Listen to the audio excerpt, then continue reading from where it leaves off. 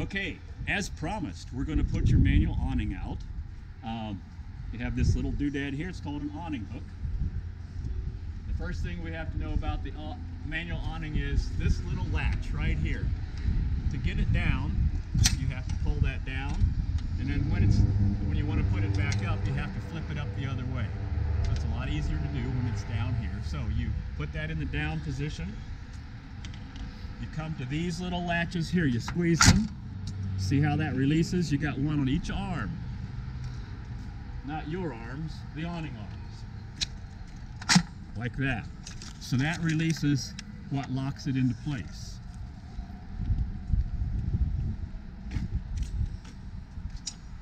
So once this little latch is in the down position and you've released the arms, then you put your awning hook through this little strap.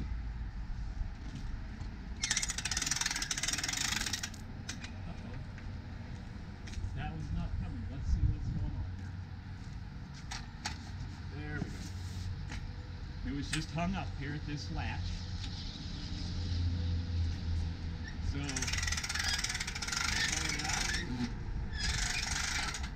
it'll stop wherever you stop pulling. The ideal place is for this to be hanging straight down. So that's getting it out. Next thing you want to do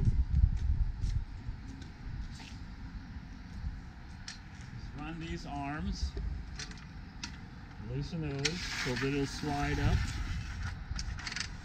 and latch into place there. We're going to do the same thing on the other arm. That's why it's nice to maybe have two people doing this.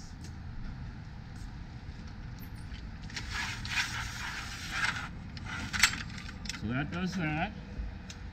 We're going to go underneath it.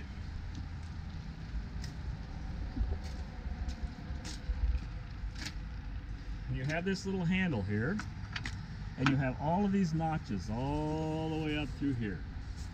There's a handle on each end. So,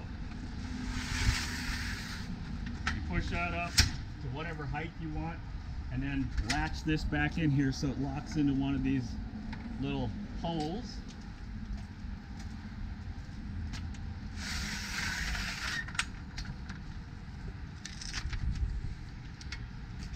There's your awning.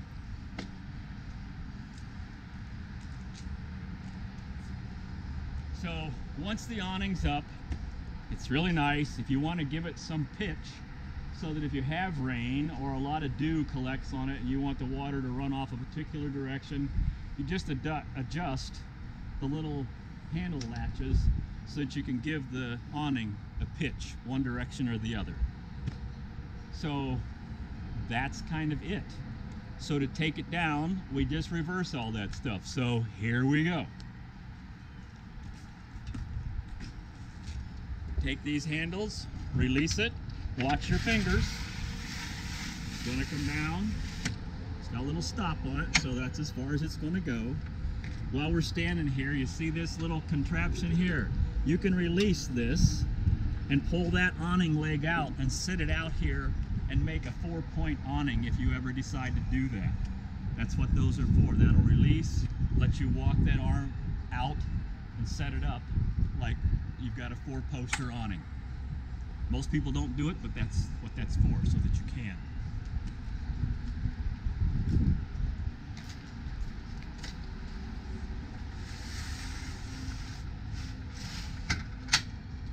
That does that. And then the next thing is to release these so that they'll come back down. Uh, so you always want to make sure these knobs are loose so that this little arm can travel. And uh, we're going to get out from underneath it because it's a lot easier to work with on the outside than it is on the inside now.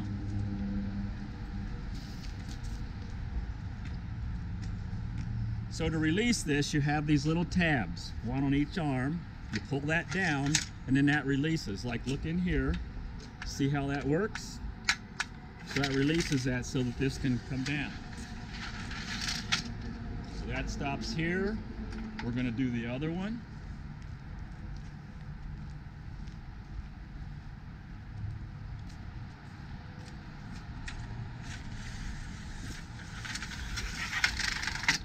So that does that. So we're almost done.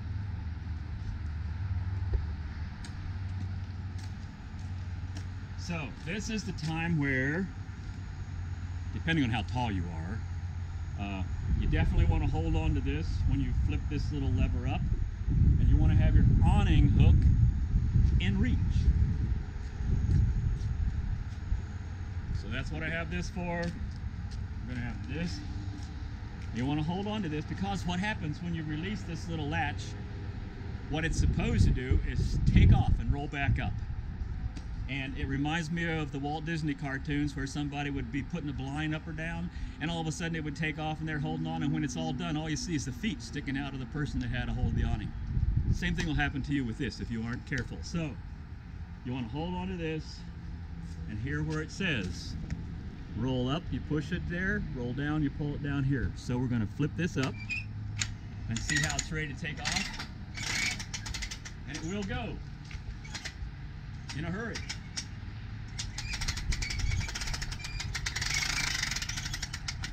Because I'm short, I'm going to use the awning hook for fin- finish.